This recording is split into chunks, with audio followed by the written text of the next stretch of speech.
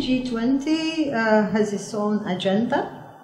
Um, and, in fact, I mean, uh, G20 has a, a multi year agenda. Uh, when we think about how G20 came into being, I think it is important to look back a little bit. Uh, the history of the G20. G20 was created after the first Asian crisis and the Russian crisis, 1997, 1998. And then at that time it was created at the level of uh, ministers of finance. Then when we had the financial crisis, which uh, turned into a very big global crisis after 2008, it was elevated to Leaders Summit. And then it started, in fact, I mean, then there was a realization uh, we live in a global world, we face global challenges, and we need global answers. That's why from then on, it has uh, become a very, let's say, uh, international forum uh, for the better coordination of economic policies. And today, I think we could say that G20 has achieved uh, to make the financial system uh, to be more resilient and to be stronger. I think G20 could a little bit take uh, pride uh, in this development. And other than that, then the G20's agenda has expanded. And uh, Turkey, that's why will continue, in fact, uh, already let's say, a good legacy of the previous presidencies. Of course, the Turkish, I mean, presidency will have some priorities during its term. Um, Turkey's presidency this year is formula- formulated around the three I's uh, in- inclusiveness, implementation, and investment for growth. If we look at the implementation uh, notion, uh, perhaps there's been some criticism in the past that the G20 has not always followed through on its commitments. What can the world expect this year from Turkey's presidency and its commitment to focusing on implementation?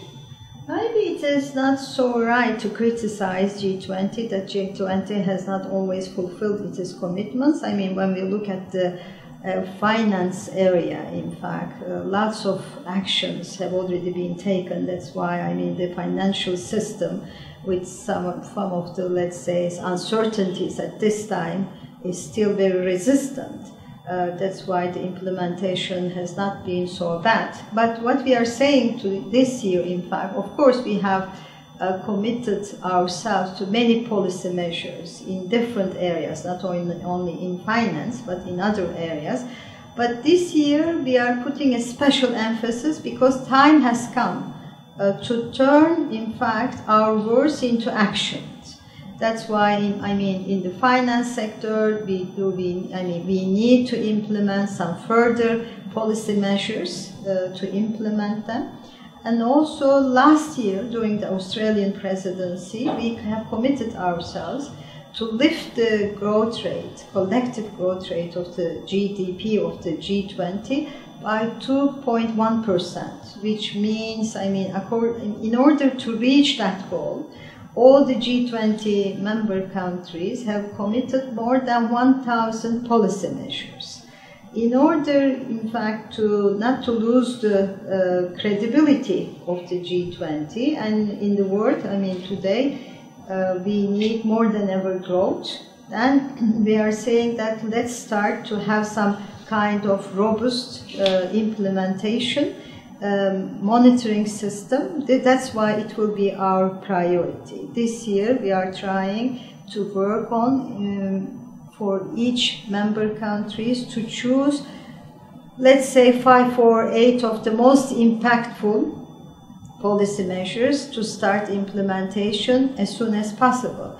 Not only uh, only, I mean, for growth strategies, for example, we do have for, for the employment action plan, for this year or next year, and also for anti-corruption policies, I mean action plans. This, that's why I mean we are saying this year will be the implementation year of the G20.